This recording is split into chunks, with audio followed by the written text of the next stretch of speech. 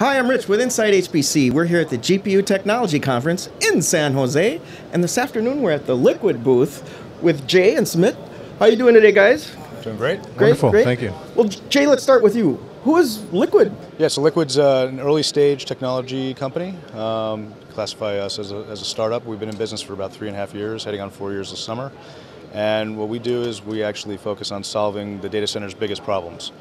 Um, so we've built a composable infrastructure, which uh, my colleague, colleague Sumit will talk about shortly, um, but ultimately helping companies uh, deal with the static infrastructure problem, breaking the motherboard ch uh, chassis paradigm. Okay, okay. Well, I was going to ask you that. I mean, who do you guys help out there? What is Yeah. the problem you're trying to solve? Yeah, absolutely. The, the, the term is called composable infrastructure, and if you haven't heard about it yet, you're going to start hearing a lot more about it. Gartner refers to composable infrastructure as that next generation data center architecture. And as Jay mentioned, what we're doing is we're breaking that server motherboard paradigm.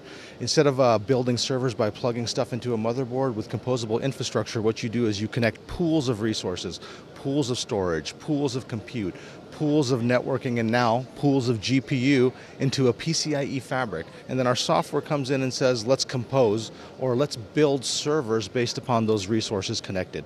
Grab this CPU, grab those four SSDs, grab these two networking cards, grab that GPU and build me a server. Defined in software, but I'm delivering you a bare metal machine just like you would plug into the socket of a motherboard. Okay, that sounds pretty powerful. We, how, how would you use that? What kind of workloads need this kind of capability? Uh, The idea is really around resource utilization. You're putting these very expensive resources into the data center. For example, a GPU can be multiples of thousands of dollars, but what happens? The GPU gets a workload, it's busy for a certain amount of time, and then the resource sits static. Average utilization is around 15% in the data center. By taking that resource and dynamically sharing it across multiple nodes or servers, you can get better utilization out of these resources. Yeah, another use case is for autonomous uh, vehicle applications, right? It's very much dependent on GPUs.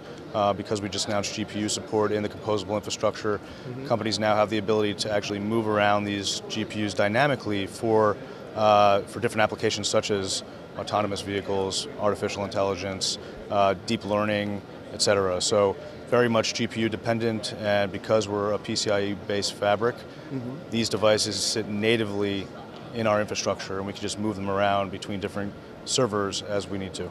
So, as a fabric, you have a hardware and a software component then to There's, this, a, this there's a hardware and software component. so we build yeah. a physical switch. Yeah.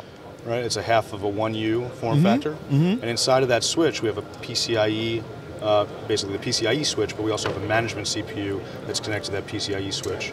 And what that management CPU does is it actually walks the PCI bus. It looks for all the devices that are connected to its ports. Mm-hmm. Yep. And we actually present that to the user through a really intuitive interface, a UI. We also give them a REST API, and we also give them a command line that they can go and manipulate the fabric to construct these servers with these elements that, that are sitting on the fabric.